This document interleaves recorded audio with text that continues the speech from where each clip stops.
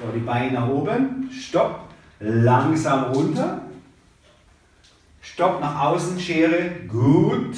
Wieder nach innen und wieder nach oben. Langsam runter, ein bisschen tiefer darf man schon gehen. Soll ja auch einen sportlichen Anspruch haben. Jawohl. Nach außen, Fußspitzen anziehen und nach innen und die Beine nach oben. Durch das langsame Ablassen und durch die Unterstützung hier wird hier die Lendenwirbelsäule abgesichert.